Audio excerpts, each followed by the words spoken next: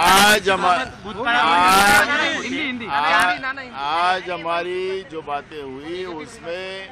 हमारे जो जितने मित्र पक्ष है उनसे भी हम लोगों ने बात की है। और उनके साथ बात करके एक दो दिन में हम लोग हमारी फाइनल लिस्ट हमारे महाविकास आघाड़ी की हम ज़ाहिर करें